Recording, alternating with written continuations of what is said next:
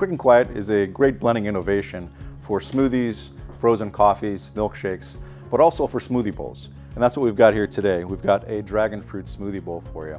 Uh, so we're gonna go ahead and walk through building this smoothie bowl. Uh, the dual blade um, and wide container really excel um, in these more difficult blends. Um, and also we're building a recipe friendly version of the bowl. So we've got some oat milk that we just put in. I'm gonna put some pineapple juice in and we're using about a 30% liquid to solid ratio. Most smoothies are about 50-50, liquid to solid. That's gonna allow for still a very thick bowl, but one that's gonna blend quickly and speed of service is very important, something that Quick and Quiet really excels at. So we're gonna go ahead and put in our pitaya cubes or dragon fruit, and then we're gonna finish up with some frozen pineapple. We'll go ahead and secure the lid and set our accelerate container onto the base.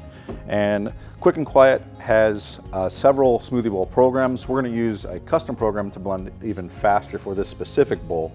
Uh, so we're gonna use button one for 19 seconds.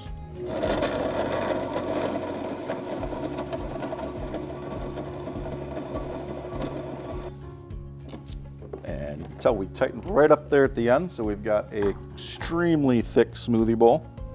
And we'll go ahead and portion that into our serving bowl.